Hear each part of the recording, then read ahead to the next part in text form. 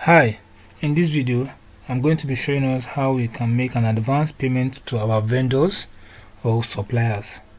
Okay, so the first thing you need to do, you go to this Tasks menu, then you locate payments. So once you click on payment, you are going to select the vendor you are making the advance payment again. So in this case, I want to make an advance payment to Yaxin. So you have to be on this apply to expense. Then I'm going to select the date if I have a number or a reference number to the payment I make, maybe the teller number, I will include the teller number here. So let's say teller number is 12761. Then I'm going to select today's date, which is 25th of September 2024. Then, uh, which account am I making the payment from? So I'm making the payment from my checking account, or you can call it bank account. So I'm going to select that. Then once we are done, from that angle the next thing we are going to be doing is to click on this prepayment. So once you click on prepayment that is you are telling Sage that you're making an advance payment.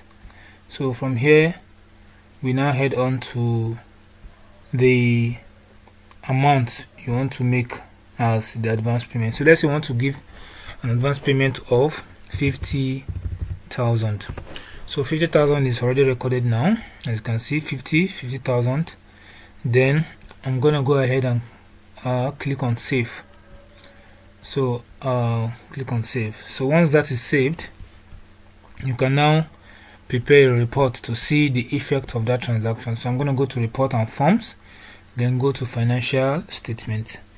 Then from financial statement I would want to go to balance sheet so I'm going to click on balance sheet so from balance sheet here I'm going to select the period. So it's between 1st of September to 30th of September. So you leave as is except if you want to do some adjustment to the margin here or other adjustment. So I'm going to go ahead and click on OK. So now from this angle we are going to see that there's an account payable of minus 60 remember the advance payment is 50,000 so how do we now go? You can click you double click on the account payable. You see the 50,000 that is recorded on the 25th of September. So here you see that the advance payment has been made. Now there was a 120 bill and payment of 120 which has set off net off the balance. Now there is a 10,000 50,000 that is an extra 60,000 making this to be 180 yeah? Then we have the negative balance of 60 so you have that 50,000 here as negative. So negative means uh, remember account payable all figures are supposed to be in positive. But if it is negative it means the other way around. So if it is positive it means we are owing Yaxin a certain amount. But since it is negative it means we've made an advance payment to Yaxin so the next time you want to uh, make the purchase you can see it's showing negative. There's a negative 10 before. So the next time you want to you can go ahead and enter bill. So let's say you want to create a new bill worth that 50,000 so I'm gonna select Yaxin uh, okay. So once I select the Yaxin I'm gonna go to item and select picnic then I'm gonna have it to be 50,000 so everything will adjust so that is by 1 2 that is 41.67 I just want to have or let's say uh let's say no 50,000 is okay. Okay? So 50,000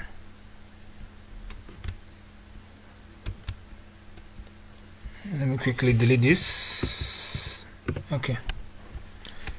Now you see over here other payment and credit we have 50,000 invoice total. Hmm? and we have vendor balance of minus 60 so it means this 50 will go out of this 60 which will remain in fact let me just make it 60 so that we'll have uh, we'll have everything out knocked out. So here we have 41.67 as the quantity. But I can decide to put the price at 1 2 but if it is at 1 2 you have the amount. So let's say I want to get for 50 so 50 by 1 2 is 60,000 so we have 60,000 and we have 60,000 so I'm gonna go ahead and click on save. Oh the invoice number where is it? Oh there's no invoice number so it has to be there. Let me use 12 or 0012 okay? So go ahead and save. So let's quickly head back to the report report and forms. We'll go to financial statement click on balance sheet then okay. Now you see there is no any other current liability. Rather the 120 that was here before has now increased by 60 for our inventory which now gives us um 180 so this is how you make an advance payment in Sage